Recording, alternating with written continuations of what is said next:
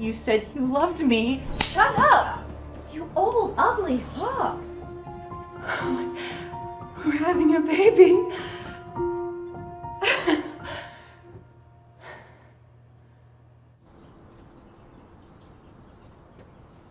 Is Jake already home?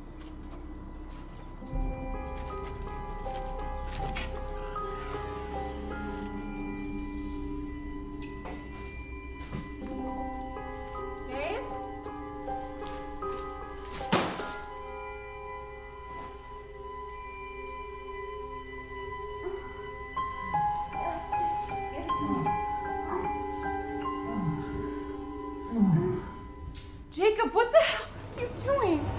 Ah, shit. What are you doing back so early today? Are you serious? Mind my pants. Someone should learn to knock before they come in next time.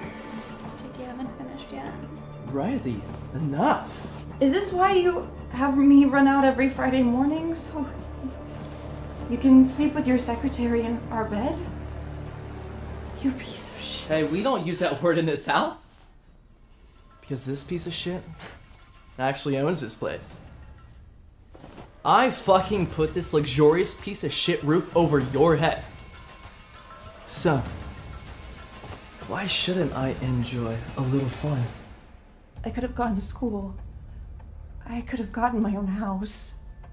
But I gave all that up because you asked me to when you proposed, because you asked me to be a housewife. You said you would take care of me if I did. You, you promised me that you would. You said you loved me. Shut up! You old, ugly hog! Love? Look at yourself. Who could ever love that? Hey, Chloe, anybody home? Mom?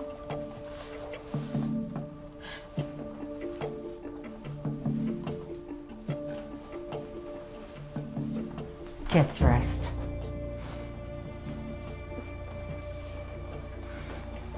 What are you crying for? You don't appreciate my son having fed you for almost 10 years and all that time, no grandchild.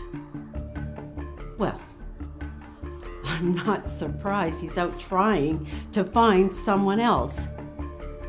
You're a shame of this family. I see. I guess I'm the one that shouldn't be here anymore. Riley, you can have my husband. You can have this house. You can have anything you want. But enjoy cooking dinner every night for the next 10 years. Alone. Chloe, where are you going? I never asked you to buy these for me. Chloe, stop it with the I dramatic. want divorce.